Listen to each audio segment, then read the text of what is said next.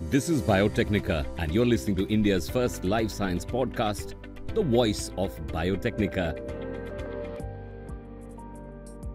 As we all know, our planet is facing n number of environmental issues pollution, water scarcity, climatic changes, etc. being the major contributors. But among these, the biggest contributor to environmental issue is overpopulation. So welcome you all to a new episode of podcast on overpopulation, the human explosion explained from the house of Biotecnika. Not only over environment, but it is also having a greater impact on the standard of living, global economies, and availability of resources and land. When you see around yourself, like for example, in your day-to-day life, when you visit railway station, airport, vegetable market, road, everywhere you will find immense crowd at any peak of time. And in case if you are residing in a metropolitan city, you will also find huge crowd over there as well. Very strange, right? Earth is made up of human beings. Without us, this planet would be nothing but a barren land. But at the same time, if present in excess, it has its own negative impact. So, overpopulation is this really a big issue?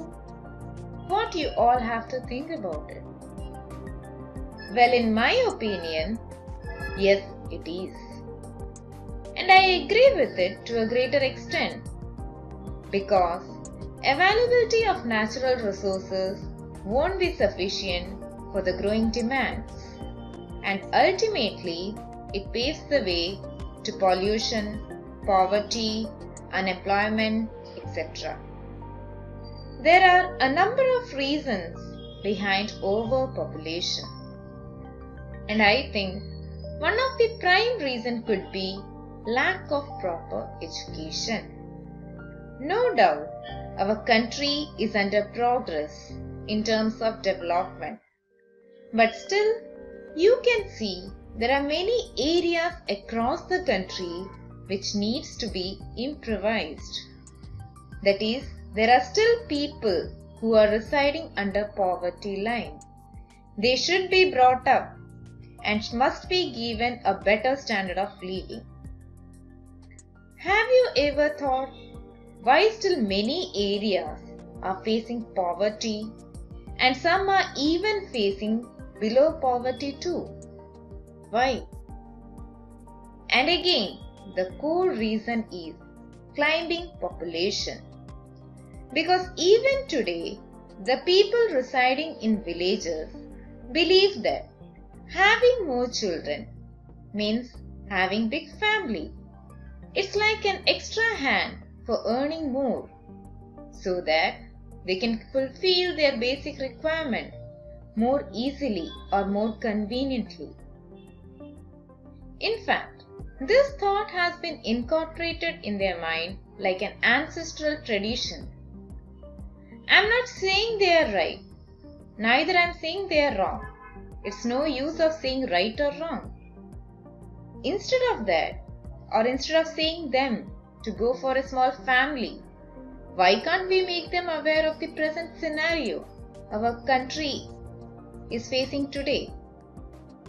Instead of restricting them to have less children, one should encourage them to go to school, make them aware of the value of education, work for women empowerment, and last but not the least, give them education regarding birth control and how this is going to benefit in the growth of our country. I think in this way, their concern and understanding towards the country will increase. They will be able to understand the pros and cons of having small or big family. So far, I talked about the people who are uneducated and how they are related to population growth. Then what about the people who are residing in urban areas. Or, in other words, one can say who are educated. Nowadays, we have more advanced technologies in the field of medicine. We are having good medication facilities as well, due to which many untreatable diseases are getting cured. Due to the availability of many life saving drugs, proper treatment, and vaccination, people are able to overcome different types of diseases. Even the dreadful diseases like cancer can be cured more effectively when compared to earlier days. Thus, longevity has been increased, or in other words, one can say mortality has decreased. Of course, it's highly desirable too. I agree with that. Then what about the resources? Will it be enough to meet the demands of growing population? And what has been done to fulfill the demands? Even natural calamities will hardly have any effect over the population graph. Because if you recently visualize some months back, Kerala faced a huge flood. Not only that, few years back, people faced tsunami in the year 2004. In the year 2016, Uttarakhand faced forest fire. All this have led to the death of number of people. But do you think does it have any effect over population growth? Definitely not. Because birth rate is maintained at a constant rate no matter whatever happens. Likewise, there is a huge impact of environment over population growth. How? Let's see. Agricultural yield should meet population demand and this can be achieved by either intensive farming or by clearing the areas to create new land, which is otherwise known as, yes, deforestation. But again, deforestation is having negative impact as well because carbon dioxide absorption will be reduced and this is like adding fuel to the fire meaning increase in the greenhouse gas problem. Not only that, it will also lead to habitat destruction and extinction. Climatic changes, unexpected seasonal changes has disrupted crop yielding and harvesting. And this was once quoted as one of the biggest challenge in human history. Another major effect includes lack of fresh water. No doubt, our planet is having optimum level of water. But still, it's insufficient to meet the demands of the need.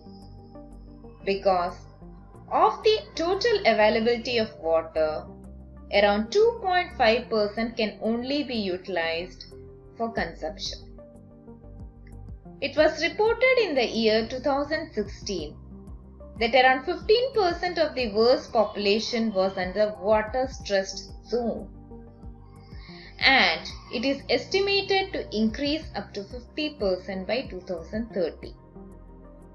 Adding to that, it was also predicted that about two thirds of the population will be deprived of water by the year 2025.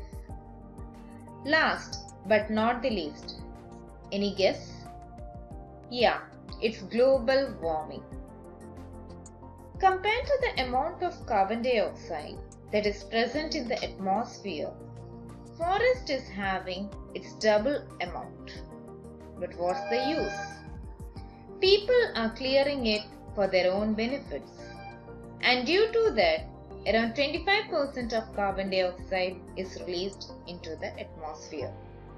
Like I mentioned before, adding to greenhouse gas problems.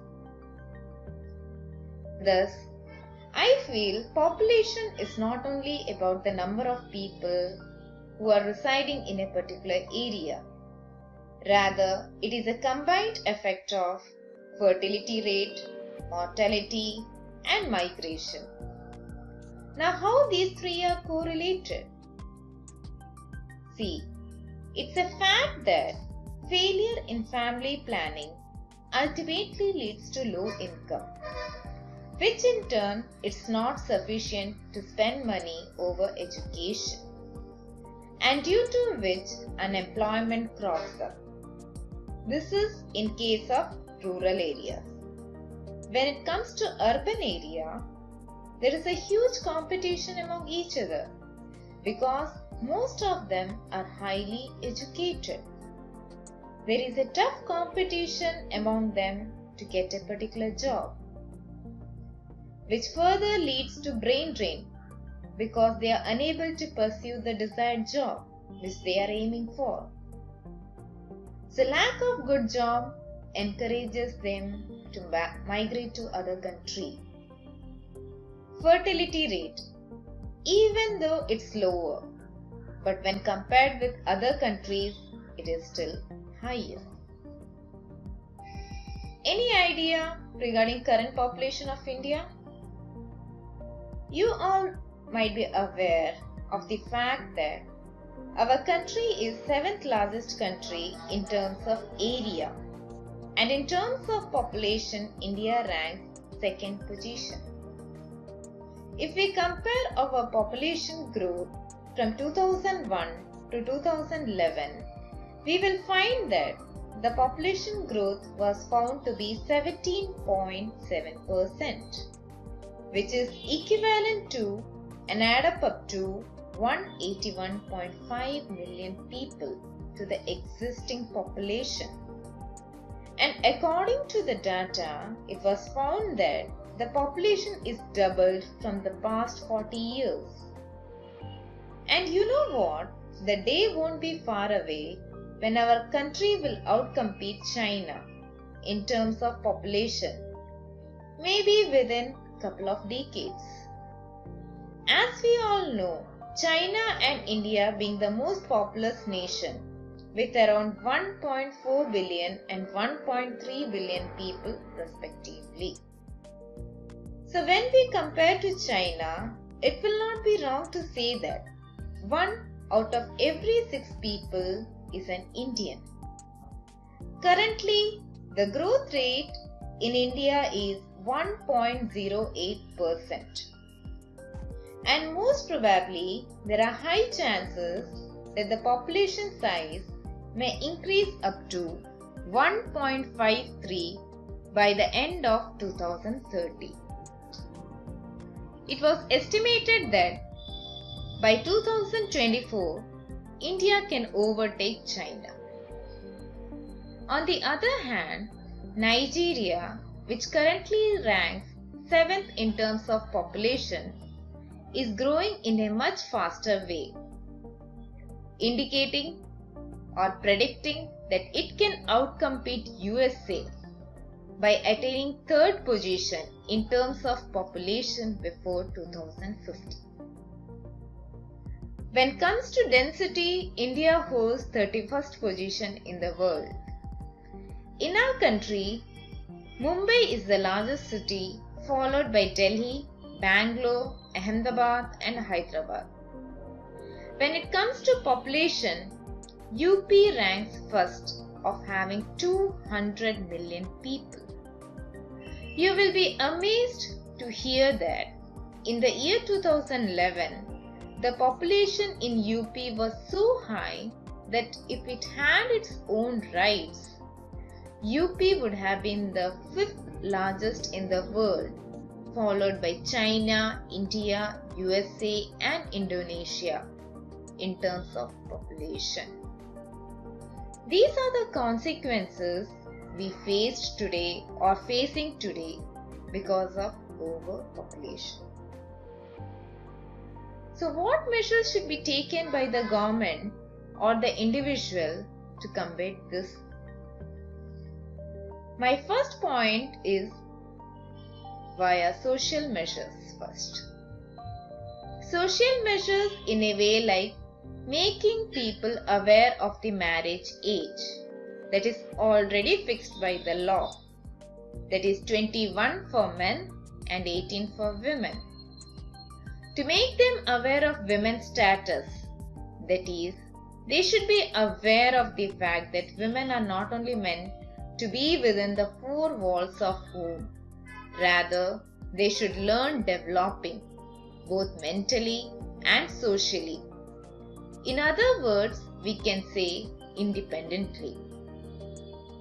They must be provided with sex education and make them aware about the health issues that arises due to frequent pregnancies and make them aware of the use of contraceptives and protection. And from economic point of view, more employment opportunities must be provided for rural areas. That is, by developing improved agricultural practices, setting up of more of industries both in rural and urban areas so that they can improve their standard of living and they will not think for migrations. In my opinion, a part of it can be solved by government by implementing tax benefits, meaning by reducing the tax for the family who has single or maximum of two kids.